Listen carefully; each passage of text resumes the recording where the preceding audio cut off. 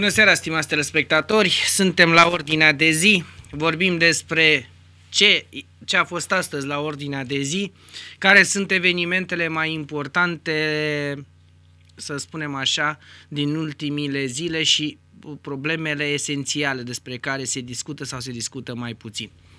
Începem cu uh, o știre care ne-a atras atenția și anume trei dintre europarlamentarii români, știți că avem acolo trimiși vreo 32 la Bruxelles, trei dintre ei sunt în topul chiulangiilor. Și nu o să vă vine să credeți cine sunt. Cătălin Ivan, Cristian Bușoi și Daciana Sârbu. Cătălin Ivan, știți, el la care apare pe la televizor și acum tocmai ar vrea să candideze la președinția PSD. Probabil că de aia n-are timp să ducă pe la Bruxelles. Daciana Sârbu este soția mult mai cunoscutului prim-ministru din România, Victor Ponta.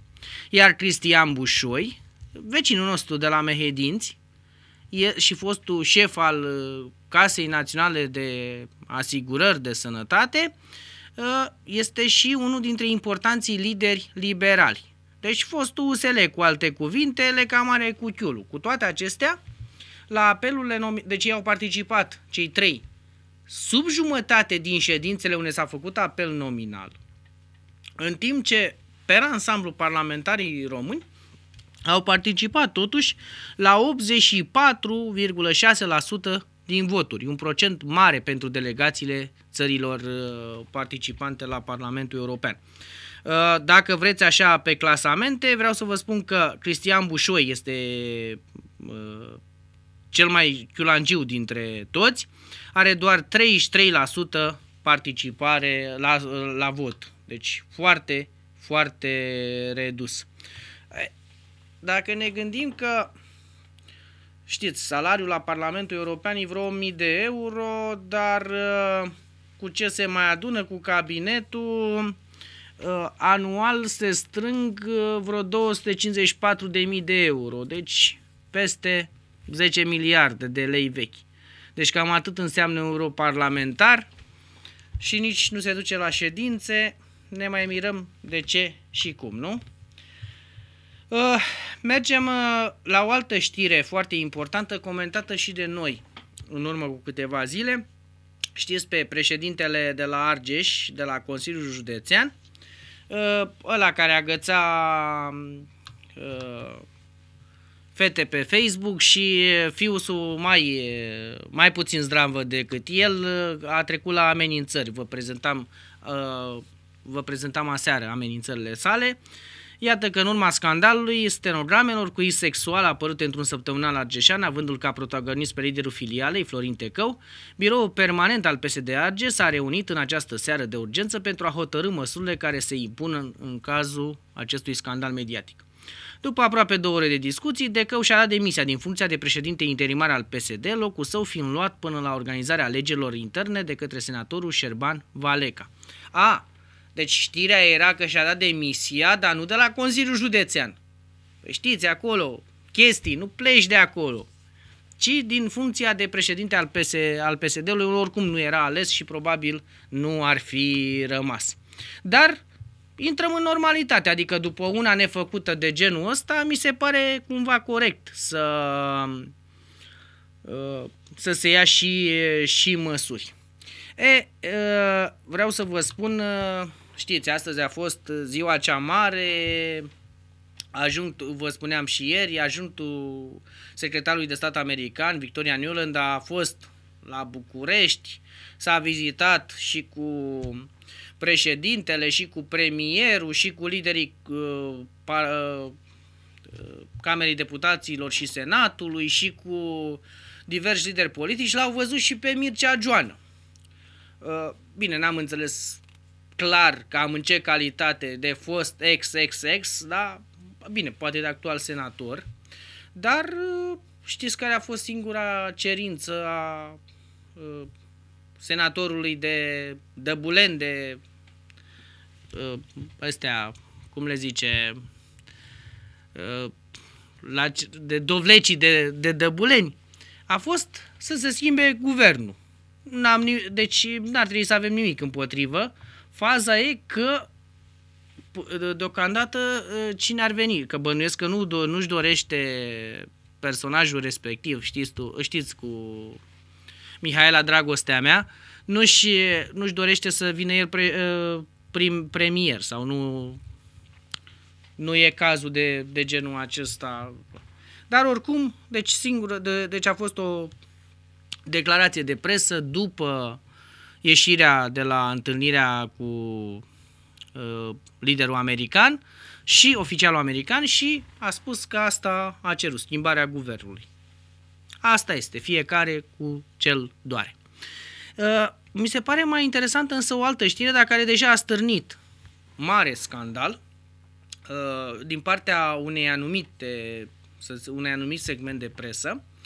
Astăzi s-a reunit pentru prima dată, după mult timp, Comisia Parlamentară Comună pentru Legile Electorale și pentru cum va arăta noul sistem. Și aici a apărut un scandal în sensul că Uh, liderul Camerei Deputaților, Valeriu Zgonea, a spus uh, presei că veniți la început și la sfârșit, deci nu rămâneți la discuții. De aici un întreg uh, scandal, că dreptul la opinie, că dreptul la informație și nu știu ce. Atât timp cât totul era transparent în sensul că se comunica ce se hotărăște, nu văd de ce trebuia să participe ziariștii la toate, la absolut toate lucrările. Pe de altă parte, dacă nu avem nimic de ascuns, iar nu văd care era problema dacă ziariștii erau în sală. Uh, Comisia parlamentară cu pricina uh, o să primească amendamente la legile electorale până pe 15 martie. Uh, se vor discuta cu prioritate legile pentru locale, parlamentare și prezidențiale, precum și sistemul de vot pentru diaspora. Deciziile se vor lua în comisie cu o majoritate de două treimi, astfel încât nici puterea și nici opoziția nu vor putea să-și impună punctul de vedere fără acordul partidelor politice adversare. Adică dacă psd își dau mâna cu liberalii, atunci totul se poate. Sau liberalii cu psd Altfel, ne blocăm în continuare. De fapt, noi suntem blocați în proiectul acesta de vreo 2 ani, că vă mai explicam eu odată, până cât, a, cât era vorba să fie Crin Antonescu viitor președinte să candideze, tălpile au venit dinspre PSD. În momentul, ă, pardon, au venit dinspre liberal să nu se modifice pentru că președintele să rămână cu atribuțiile respective. În momentul când s-a schimbat prioritățile și Ponta se anunța, automat ă, tălpile au venit din partea cealaltă. Uh, toți membrii comisiei au fost de acord că trebuie să redus numărul parlamentarilor, adică 300 de deputați și 100 de senatori. E, la 400 e mai bine decât 600. Uh, comisia uh, urmează să stabilească, printre altele, sistemul de vot la parlamentare, liste sau uninominal sau mixt și modalitatea de alegere a primarilor, șefilor de CJ, un singur tur sau două tururi, pragul electoral la locale și la parlamentare. E, avem o, să spunem așa, Uh, și aici cred că a avut dreptate premierul. Uh, ați auzit ce se dorește să se schimbe în sistemul electoral. Avem o problemă. Dacă acum am merge spre alegeri anticipate, să spunem, adică va pica guvernul și apoi acea procedură vor cădea două guverne rapid, bine, rapidul ăsta însemnând uh, cel mai devreme la toamnă, am putea avea alegeri anticipate. Dacă nu se face, nu se pun de acord partidele, practic vom merge pe sistemul vechi de alegeri. Sistemul vechi de alegeri, ce spune? Că te poți trezi și cu ăla, deci cu lista, cu votul uninominal, te trezești și cu al doilea și al treilea, te trezești cu el în Parlament.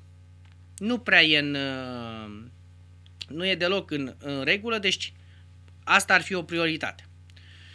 Pe de altă parte, ar trebui să se pună de acord, adică, bun, e această comisie, sunt parlamentari, sunt, dar trebuie să ne punem de acord, adică să, să vedem și ce doresc oamenii în țară. De ce? Foarte simplu. Uh, mi s-ar părea normal să vreți vot pe listă sau uninominal, adică niște sondaje de opinie. Până la urmă și un vot, cum am fost chemați la un referendum prin care să ne spunem uh, atunci, prin 2009, bine, a fost cu alte scopuri acel referendum, că vrem 300 de parlamentari, cred că ar fi logic să fim întrebați și sistemul de vot sau ceva, adică să se facă un, uh, de 2, 3, 5 întrebări să testăm uh, populația. Mi s-ar părea mai democratic așa, pentru că nu schimbăm ca să schimbăm. Adică ar fi ideal să mergem pentru mulți ani de acum cu pe un sistem stabil. Uh, apropo de, uh, de această știre și de scandalul creat, mi s-a părut artificial astăzi creată toată uh, tot, tot scandalul, dar știți cum e, trebuie să avem și noi. Am lăsat uh, voit mai N-am început cu această știre, e practic în desfășurare la acest moment. Uh, avem o descindere de nea la Ministerul de Interne, au fost săltați un consilier uh, de la minister care ar fi vândut copii unor documente secrete. Deci dacă la nivelul ăsta se pune problema că deci imediat apropierea ministrului pleacă aceste documente secrete unde ne aflăm. Ce am mai putea să spunem? Deci infractorii pot afla diverse lucruri din preajma ministrului fără probleme. Apropo de că am înțeles că meritul este al serviciului DGIPI sau cum se numește serviciul Ministerului de Interne. Mie mi se pare, uh, cum să vă zic, mi se pare jenant că ajungem cu DNA-ul acolo și ăsta. Aceste lucruri cred că trebuiau reglate și nu ar fi trebuit să se întâmple dacă se acționa corect. Uh, sunt, uh, apropo de știrile mai interesante, uh, vreau să vă zic că se vorbește pe surse că în aceste zile în aceste zile au avut loc întâlniri între doi dintre cei mai interesanți patroni de media sau uh, responsabili de media. De exemplu, s-a întâlnit, a fost o întâlnire de taină între Sebastian Ghiță, patronul România TV, și Sorin Noancea, șeful de la B1 TV. Uh, de ce e o știre și ne interesează? Păi foarte, foarte simplu. Ia gândiți-vă că sunt niște ziariști care au plecat dintr-o parte în alta tocmai acum, iar cele două posturi sunt rivale în această luptă mediatică din ultimile luni, ultimii ani. Să vedem că una, cel puțin una din televiziune o va vira într-o altă direcție? Ne întrebăm și noi ca orice cetățean din dorința de a fi informat. Haideți să parcurgem pe rapid puțin câteva știri foarte importante, urmând să ne referim și la subiectul de bază, unul dintre subiectele de bază ale emisiunii. Vă promiteam de aseară cel referitor la drumurile noastre toate care se vor face în perioada următoare. Ă, ministrul de Finanțe a declarat astăzi că conform ă, unui proiect de hotărâre privind repartizarea Uh, pe unități administrativ-teritoriale a sumelor pe 2015 conform legii bugetului, nicio comună nu va avea un buget mai mic de 1,5 milioane de lei și niciun oraș nu va avea mai puțin de 6 milioane, milioane de lei. E, acum, dacă chiar se, se va întâmpla acest lucru, uh, mai departe, uh, bugetele minime pentru municipii vor fi de 20 de milioane de lei, și pentru municipiile reședințe de județ 50 de milioane de lei. Uh, consiliile județene vor avea cel puțin 80 de milioane de lei. Deci cam asta primesc prin legea bugetului aceste instituții. Deci, ca o traducere, o comună mică va avea vreo 15 miliarde de lei vechi minim, o comună cu 5 angajați, 6, 9 câți are, mi se pare în regulă un asemenea buget minim, că știm că el nu se prea realizează dacă o iei din venituri proprii. Iar uh, la un oraș de dimensiunile, să zicem, Târgu Jiului, un 50 de milioane de lei, eu știu, nu cred că e, nu cred că e foarte, foarte mult la nivelul un oraș ca Târgu Jiu, mai ales la investițiile anunțate, dar probabil vor mai interveni vor mai interveni și alte lucruri. Uh, uh, avem uh, printre știrile importante de astăzi, aflăm, de exemplu, că deci, deci ca evenimente mai importante, aflăm că sunt uh, foarte multe, foarte multe lucruri care nu bat cu ce am anunțat în ultimile, în ultimile zile. De exemplu, ne costă uh, implementarea unei strategii de incluziune a romilor, ne costă vreo 430 de milioane de lei doar pentru 2015-2016. Nu știu dacă e vorba de incluziune, dar cu siguranță bani, vin bani europeni pentru asta. Uh, și vreau să vă spun că se anunțase astăzi că a început o urmărire penală împotriva liderului liberal Alina Gorghiu pentru nu știu ce dosar penal. Vreau să vă spun că Procurorul General Tiberiu Nițu a declarat astăzi că la secția de urmărire penală și criminalistă a parchetului în altei curs nu există niciun dosar în care să fie cercetată Alina Gorghiu. Deci a fost uh, uh, a fost o intoxicare până la urmă. Pentru fals era acuzată liderul liberal, nu s-a confirmat. Uh, mergem spre drumurile noastre toate, uh, din mai multe motive. Vorbim și de ce sunt ele în momentul de față în gor și în țară și de ce, de ce va urma. Uh, vreau să vă spun că aseară când vă, prezent, vă promiteam că ne vom referi la acest, uh, la acest subiect, uh, aveam în, uh, în vedere, deci am avut foarte multe comentarii, unele dintre ele o să vi le citesc și de asta, asta m-au și făcut să abordez subiectul mai pe larg astă seară. Îmi spunea, îmi spunea cineva, ne spunea cineva așa, Uh, domnule redactor, drumurile din Gor sunt cu un sân și nu se va face nimic nici în viitor. N-avem aeroport, n-avem drumuri, n-avem turism, n-avem, n-avem, n-avem. Cred că sunt de acord. De fapt, cumva ați rezumat ce am spus și eu aseară și ne vom referi și în această seară. Un alt telespectator care a trimis un mesaj aseară, dar care, din nefericire, mi-a intrat după ce ieșisem din emisie, uh, spunea, spunea așa, oameni din Gorj ar dori să afle dacă se mai deschid fabrica de bere și de țigări, pentru că așa ne-a promis Consiliul Local. O seară bună și tot respectul pentru dumneavoastră, spunea telespectatorul nostru aseară, dar vă spuneam mai intrat după. Să știți că n-am nici cea mai mică idee, din câte știu, deci e, uh, li s-a pus cruce unor asemenea întreprinderi la nivel de Târgu Jiu. Tot uh, cineva aseară uh, spunea uh, de ce nu se face nimic cu drumul dintre Rovinar și Târgu Jiu, încă sunt multe probleme. Știm, din nefericire știm și uh, abia anul acesta pe final, dacă vom avea toate problemele. E adevărat însă că acum, față de ce era anul trecut, se poate, se poate circula. Uh, spuneam despre situația drumurilor, o să rog pe colegii din regie să ne prezinte niște hărți. Ele fac parte, au fost prezentate ieri de ministrul Ion Rus, ministrul transporturilor.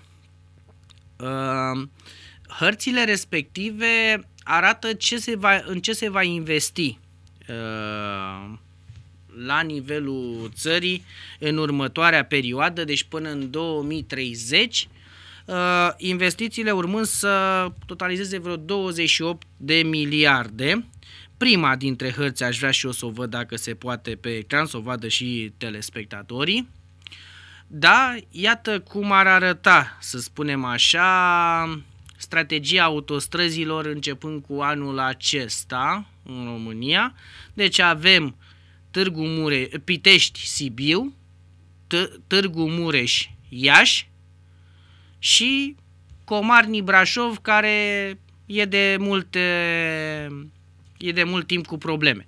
De asemenea, se va adăuga a treia bandă pe drumurile naționale de pe Valea Oltului și Valea Prahovei și un nou drum la, uh, național de la Câmpina la Săcele, deci în, uh, tot în zona, în zona Valea Prahovei Brașov, încolo. Vreau să vă spun că și puteți vedea și dumneavoastră pe ecran cu verde acele, acele drumuri care se construiesc. Mai este o autostradă și o să vorbim despre ea. Da, iată a doua. Dar atenție, cei de la minister spun proiecte critice, adică proiectele cu probleme la acest, la acest moment.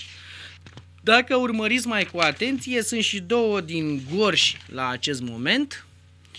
Uh, unul dintre ele se referă la uh, Bengești și face legătura cu Transalpina, celălalt este, dacă văd eu bine, cu roșu. Acolo este defileul Jiului, în care, știți, face parte din coridorul 4 european și e o mare problemă, e o mare problemă cu el, în sensul că nu s-a făcut absolut uh, deci abia s-a început câte ceva, dar până se termină va mai dura, din câte știu eu, minim, minim 2, minim 2 ani.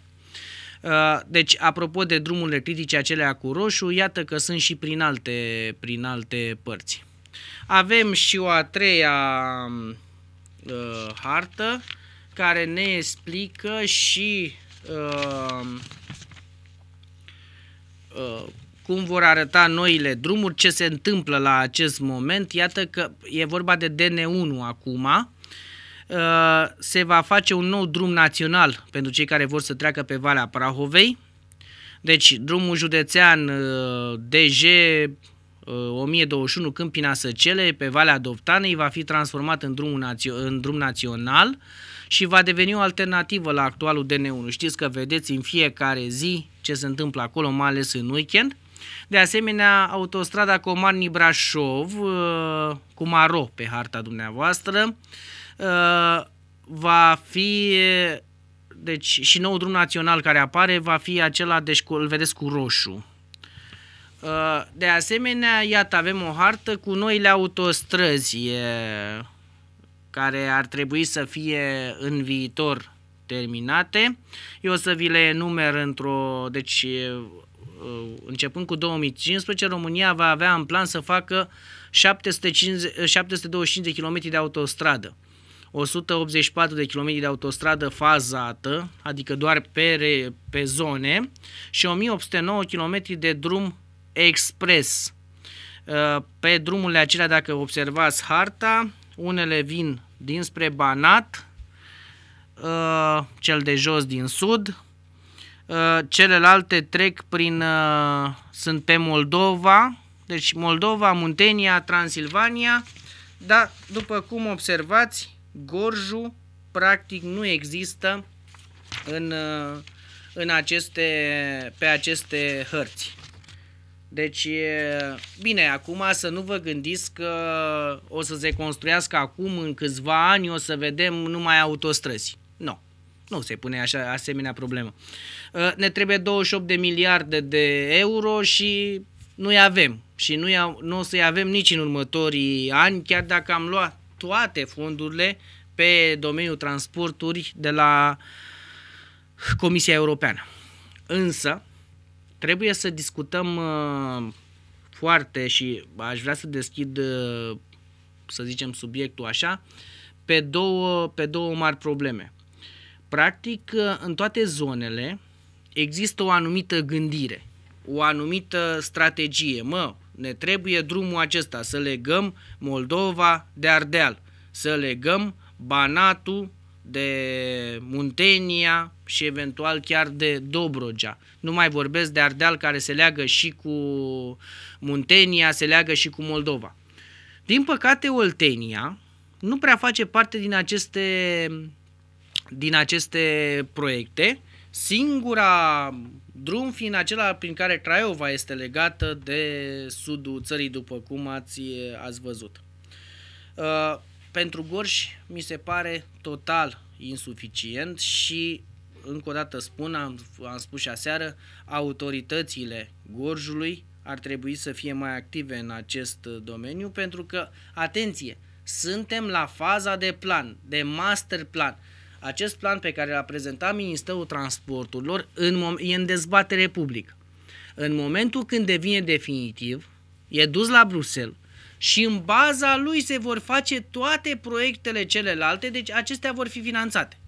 Dacă noi nici măcar nu cerem un drum, o autostradă, deci eu aș vedea, apropo de tronsonul acesta, mi s-ar părea normal ca Valea Jiului să fie legată pe Rovinari, Craiova și ăsta, deci mi s-ar părea să fie cel puțin un drum expres. Uh, dacă nu autostradă. Mai avem varianta aceea, Severinu, care merge spre Vâlcea și celelalte. Deci se fac legăturile în afara județului pe Dolj, deși mi, se, mi s-ar părea mult mai practice ca aceste drumuri să fie prin județul Gorj. Dar trebuie să cerem acest lucru să fie prevăzut. Altfel, nu o să se facă nimic. Și cum, uh, apropo de județul Dolj, au și aeroport, o să aibă și autostradă, sunt și mult mai aproape de București, au alt tip de legătură, noi, Gorju, o să fim în continuare izolați pentru că uh, noi la îndemâna și oamenii de afaceri, cei care vor să vină să investească într-o zonă ca a noastră, nu cred că le convine să piardă ore întregi, adică vine de la Roma la București într-o oră jumătate și mai face 4-5 ore până la Târgu Jiu. Nu o să-l prindem. Și apropo de investiția firmei de cauciucuri de la Sadu, ca să nu-i dăm numele, să nu facem publicitate. Deci nu mi se pare deloc în, în regulă. Suntem departe de Uh, chiar dacă vine să zicem pe aeroportul din Craiova, tot face o oră jumate, două, deci face mai mult decât ar face din Italia. Deci de aceea spun că avem nevoie de măcar de drumurile uh, drumurile ca, uh, să fie drumuri de mare viteză ca să poată să vină, să vină în, zona, în zona respectivă. Altfel, altfel, peste un orizont de timp de câțiva ani, o să simțim această, această lipsă și vine omul în concediu, să spunem, vrea să vină, avem Transalpina, e adevărat, dar nici ea nu este racordată, ați văzut că semnalează și Ministerul Transportului și acolo sunt, de în primul rând că nu-i, nu terminată Transalpina și nici nu s-a făcut nimic în ultimii, în ultimii doi ani. Acum se pare că ea a fost luată de la constructor. Poate reușim să o și terminăm. Ar fi ideal și ați văzut ce lume, ce oameni a atras Transalpina, Bine, mai puțin politica noastră de, berbe, de berbeci, apropo de responsabilii la CNADR, de n-au vrut uh, CNADR, de n-au vrut să dea drumul la ea la timp și știți ce s-a întâmplat. Să sperăm că anul acesta nu vom mai avea aceleași probleme în momentul când se va putea circula în luna mai sau iunie de când se va putea circula pe ea. Dar, încă o dată, uh, trebuie să avem și noi să fim acordați, dacă ne uităm așa și ați văzut și o să, o să rog colegii din regie să mai dea o dată hărțile, mai rapid de data aceasta, uh, mă interesează harta numărul, numărul 4, uh, uh, e, e problemă, deci trec prin multe județe. Deci, practic, uh, în momentul de față, uh, dacă am numărat bine, sunt 11 județe care au legătură cu autostradă cu o autostradă. În viitor vor fi mult mai multe, dar noi suntem printre puținele în care nicio autostradă nu trece pe acolo. Nu mi se pare, deci nu mi se pare deloc în regulă, mai ales că cu ani în urmă politicienii gorjeni vorbeau de multe, multe chestii de acest gen. Bun, să zicem că cum avem Fordul la Craiova sau Dacia la Pitești, o să vrea o firmă de construcții de mașini să vină să facă mașini la uh, uh, mașini la, la, târ- la Târgu Jiu sau să zicem la Sadu, în zona aceasta. Cum le transportă pe drumurile actuale? Știți că și, Pite, uh, și Pitești, aceasta este harta, deci după cum vedeți ce județe sunt atinse ca proiecte la acest moment. Gorjul nu apare, vă spuneam, în acest, uh, în acest loc, deși foarte multe județe din țară sunt străbătute de uh, cel puțin de proiecte de autostrăzi, că la noi în România prea poate, să nu prea putem să vorbim de autostrăzi. Dar, uh, uh, cum spuneam apropo de chestia asta, nu poți să și, și să vrei să duci, să exporti ceva, mașini, utilaje, dar să ai nevoie de drumuri. Păi până le iei de la Sadu sau de la Târgu Jiu să le duci, să, le, să mergi spre o graniță, nici nu, se, nici nu se pune problema. Deci, practic, ai avea o mare, uh, o mare problemă la acest moment. Deci, chiar dacă am avea investitorul, am avea o problemă. Deci, trebuie să ne gândim și la infrastructură. Și vă spuneam, în ziua de astăzi, una din principalele probleme este rapiditatea cu care ne, cu care ne mișcăm. Ori, în momentul când tu pleci de la Târgu Jiu și faci ore întregi pe drum spre București, spre Craiova, spre Severin, spre Vâlcea, este o mare, o mare problemă, cum, cum spuneam. Nu abandonez acest subiect uh, până nu a vă spune și un alt lucru. Am adus uh, să spunem așa, am abordat acest subiect, v-am arătat hărțile care sunt construite la Ministerul Transporturilor pentru că suntem la faza cu, e bine, la faza studiilor în care dăm, pe studii de fezabilitate, dăm milioane de euro. Asta sunt afacerile celor în funcții, asta e. Însă vreau să vă mai spun un lucru. Să nu credeți că se vor transforma toate în realitate. Dovadă că avem câteva sute de kilometri de autostrăzi făcuți în 25 de ani. Ne-a lăsat Ceaușescu cu vreo 100 și am mai făcut noi pe lângă câteva sute. În 25 de ani și-am cheltuit câteva miliarde de euro. Deci, a crede că dintr-o dată o să ne schimbăm și o să facem uh, foarte multe, nu cred că e așa, mai ales că știți cum e. Kilometru de autostradă în România costă cât ăla din uh, China, din zona, să zicem, zona munților uh, în Everest sau ceva de genul ăsta. Deci undeva, uh, undeva în condiții foarte diverse sau în Alpi, cum costă în Alpi în, în Franța. Deci așa de mult costă la noi. Dar de aici și până faptul că nu facem nimic, asta este o realitate din păcate tristă. Tot legat de asta și cu asta abandonez subiectul drumuri, vreau să vă spun că e și o veste bună. Probabil mulți dintre dumneavoastră au mers în ultimii doi ani pe autostrada nouă, uh, Cernavod, de pe autostrada Soarelui, deci continuarea, Cernavodă până la, până la mare, până la Gigea și să spunem, au apreciat, chiar dacă nu e neterminată, refugiile sunt cum sunt, uh, aceea a fost făcută printr-un împrumut care Uniunea Europeană a zis zilele acestea, ne-a aprobat în, să ne dea banii respectivi. Deci, practic, împrumutul acela care noi l-am făcut să terminăm acea autostradă extrem de vitală pentru zona litoralului românesc, a fost recuperat. Deci banii vin de la Uniunea Europeană, plătim creditul și putem să folosim banii din creditul respectiv spre o altă destinație. Știți cum e? Uniunea Europeană, Comisia Europeană îți dă, dar nu-ți bagă și în sac. În sac. Dacă am avea proiecte și am fi în stare să le facem, eu zic că am putea să facem lucruri, lucruri importante. Din nefericire, nu suntem în, nu suntem în stare să, să, facem, să facem aceste, aceste lucruri și asta e o, o mare problemă. În privința costurilor, mai e și mai e și altă problemă. Povestea cu Comarni Brașov. Știți că de vreo 2 ani tot vorbim de acea autostradă care ar urma să se facă din parteneriat public-privat, adică o firmă să investească banii proprii și să-și recupereze pe distanța a 30 de ani dintr-o taxă de autostradă care ar urma să fie 7 lei pentru folosirea acestei porțiuni de drum de 50-60 de kilometri, nu cred că are mai mult.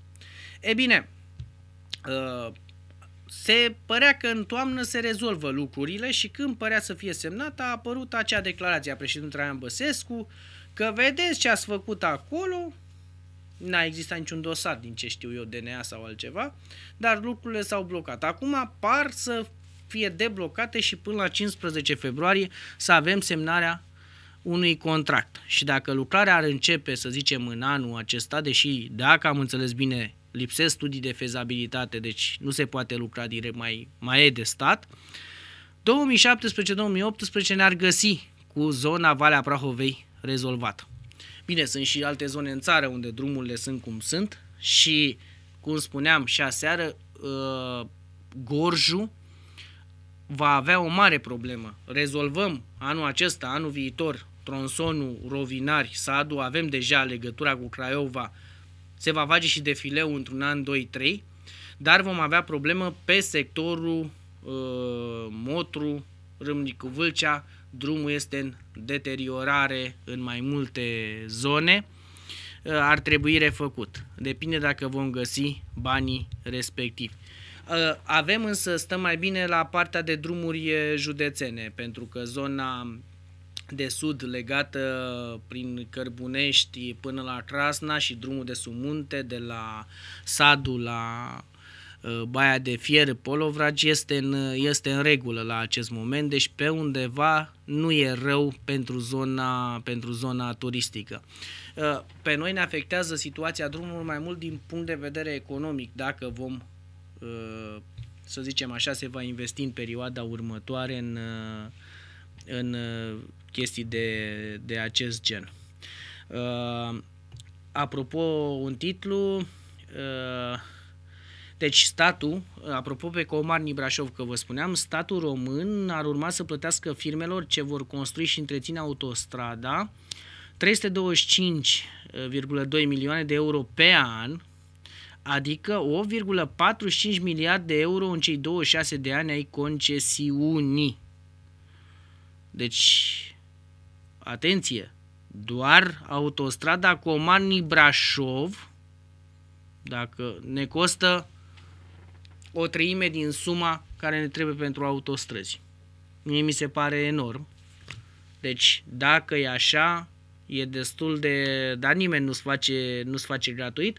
Și acolo începem să credem și chestia cealaltă. E totul zonă de munte, deci automat prețul e normal să fie, să fie mai mari decât în alte, în alte părți. Uh, venim pe meleaguri uh, gorjene, pentru că n-am vorbit aseară, o să vorbim uh, astă seară din mai multe subiecte. Unul din ele, știți, vă spuneam în urmă cu câteva seri faptul că știți, compania succes care are mari probleme financiare, ceruse intrarea în insolvență. Lucrul acela, după cum ați aflat probabil din presa ultimilor zile, s-a retras acea cerere cu un credit la bancă și cu să spunem așa, o renegociere a condițiilor cu partenerii, se pare că compania se salvează, iar numărul de șomeri nu va fi foarte mare pentru refacerea poziției companiei. Uh, e o veste bună până la urmă pentru, pentru gorjeni, așa că o dăm și noi, poate lucrurile se vor îndrepta în direcția bună din acest uh, punct de vedere, pentru că e greu de crezut că autoritățile din Gorj sau firmele din Gorj ar putea absorbi uh, o forță de muncă de câteva mii de oameni care ar, putea, ar fi putut intra în șomaș, mai ales acum în, în mijlocul iernii. Însă problemele sunt în continuare la nivelul CO-ului. Astăzi, angajații de la unitatea de închidere și conservare Motru au ieșit în stradă după ce au aflat de la șefii complexului energetic Oltenia, de care aparțin, că sunt trimiși acasă până la finalul lunii februarie. Timp de o lună și jumătate, aceștia rămân la dispoziția unității și sunt plătiți cu 75% din salariul de bază și sporul de vechime. Salariații peste 100 sunt nemulțumiți pardon, la adresa directorului care nu le-a spus situația exactă, bănuiesc o știau și ei și fără să le spună directorul, și nu știu care e viitorul lor, pentru că aici e problema, uh, predictibilitatea. Uh, nimeni nu mai are, nu știe ce se va întâmpla în perioada următoare. Toată lumea se teme pentru locul ei de muncă. Apropo de acest lucru, să știți că um, cei care simt uh, foarte bine pulsul sectorului, adică economiei gorjene, sunt angajații din bănci, recent vorbeam cu reprezentantul unei importante bănci de la Gorj, care îmi spunea că dacă acum câțiva ani încurajau foarte mult și firmele private, dar și angajații la privat, care erau mult mai maleabili, de multe ori și cu salarii mai mari, să ia credite. Aici la Gorj vorbim, nu, și bineînțeles banca respectivă în toată țara. Acum lucrurile s-au schimbat. Cel puțin aici la Gorj, e, cei care erau tratați cumva așa condescendență, e vorba în special de sistemul bugetar, acum au revenit în grații, dacă vrei să iei un credit, e mult mai ușor să fii angajat la stat, să fii bugetar, decât, decât în domeniul privat, pentru că predictibilitatea în domeniu este foarte, foarte redusă. Și, cum spuneam, cum n-ar fi așa dacă la acest moment nu știi ce se va întâmpla în lunile sau în anii următori. Și din nefericire, pe, această, pe acest să spunem așa, pe viitor, la partea de viitor trebuie să lucreze în toate domeniile de activitate. Uh, tot uh, de uh, Gorj vorbind acum, trebuie spus că pe lângă au fost, astăzi a fost zi de doliu la Rovinari, acei copii nefericiți și tatăl lor au fost înmormântați, mii de oameni au participat la mormântare, nefericitul eveniment, cum spuneam, care ne-a pus pe harta acestor evenimente de care nu e mai bine să uităm cât, cât mai repede. Vreau să vă spun că avem o altă problemă. Bine, să zicem așa, n-ai crede că e iarnă și automat se pot, pot apare incendiile, dar să știți că dacă în ultimii ani nu prea vorbeam de foarte multe incendii în, la nivelul iernii, adică erau câteva incendii mari, dar evenimentele destul de rare, pentru că activitatea de prevenție, probabil inclusiv a pompierilor gorjeni, e foarte bună.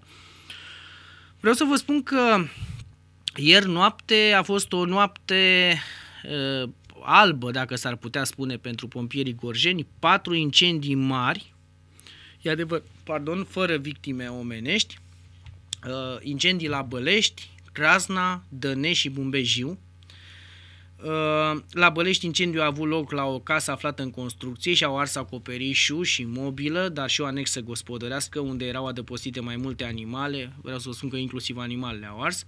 Stingerea incendiului a durat șapte ore, focul izbucnind, se pare de la o defecțiune a coșului de fum. La Crasna ars acoperișul unei case pe o suprafață de 120 de metri pătrați, focul pornind tot de la coșul de fum. La Dănește ars casa unui bătrân, uh, potrivit primelor focul a pornit de la jarul care a căzut din sobă.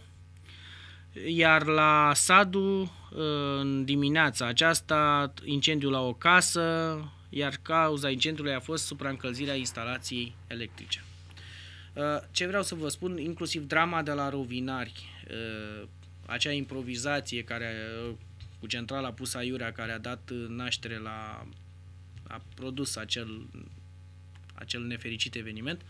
Toate acestea au au o simplă o singură explicație sau printre altele. Deci trebuie să fim mult mai atenți cu, cu focul și cu ce poate produce, mai ales în acest anotimp, când toată lumea folosește instalații de încălzire și alte lucruri. Uh, o să ziceți că, da, e normal, suntem în timpul iernii și toată lumea folosește. Bun, dar trebuie să ne luăm și măsurile de precauție și prima problemă, prima problemă la care ne referim uh, și apropo de ce s-a întâmplat la Rovinari, haideți să nu mai facem ea acea campanie pe care o difuzează posturile de televiziune cu acea improvizație care se face cu folosirea gazelor naturale și cea. Nu e în regulă să facem aceste lucruri. Știu că mulți se pricep, dar uh, să facă diverse instalații, diverse improvizații, dar iată unde, unde duc ele. La supraîncălziri sau chiar la drame, la uh, moartea unor copii nevinovați, cum este cazul nefericit de la, de la Rovinari. Uh, apropo de ce se întâmplă în Gorj. Astăzi a avut loc o întâlnire a directorilor de școli cu inspectorul general, printre, deci motivul fiind aplicarea legilor din educație care se pun în perioada următoare Știți, până la urmă, educația rămâne singurul domeniu care scoate la concurs posturi. Vor fi și în anul acesta probabil câteva zeci de posturi de dascăl scoate, scoase la concurs și, bineînțeles, mii, ă, pardon, sute de candidați la funcțiile, funcțiile respective. Uh, trecem uh, pentru, pentru finalul emisiunii, trecem la Uh, îmi spun colegii din uh, regie că au rămas doar două minute. Uh, trecem prin, să zicem așa, ultimile știri ale actualității și anume din ce circulă pe, pe internet Ajunctul poliției Râmnicu Vâlcea a fost arestat. Pentru că ghici, ghicitoare de ce a fost arestat, îi ajuta pe infractori. Uh, de asemenea, uh, Victoria Newland, de care vorbeam mai devreme, a declarat la finalul acestei zile foarte încărcate din România, corupția ține de securitatea națională. Am spus-o și noi și dacă ea va fi reușit să fie combătută în România, de oamenii legii, structuri de parchet, deci de la poliție, structuri de parchet, servicii și toate celelalte judecătorii, totul va fi ok. Uh, de asemenea, poliția a aflat cine este cel care l-a amenințat cu moartea pe jurnalistul Mihai Gâdea. De asemenea, am mai, am mai aflat uh, că, deci apropo de știrile importante ale zilei, astăzi trebuia să aflăm ce se întâmplă, adică ce se întâmplă. V-am spus, nu se întâmplă nimic. Președintele nu se pune problema să-și piardă mandatul, dar un verdict în cazul în cazul Claus Iohannis, președintelui, cu incompatibilitatea. Instanța a amânat decizia până pe 21, deși era așteptată astăzi o decizie prin care să se suspende procesul până la terminarea mandatului prezidențial. Vom vedea în următoarele zile Uh, după 21 ianuarie, dacă se confirmă supoziția noastră că va interveni conform Constituției, va interveni o decizie prin care, ca și în cazul Traian Băsescu, toate procesele se reportează pentru după, după ce se termină mandatul prezidențial. Sunt o serie de știri, sunt și altele, am încercat să vi le prezentăm pe cele mai importante la ordinea de zi. Ne întâlnim și mâine seară la aceeași oră. Mulțumim de atenție, la revedere!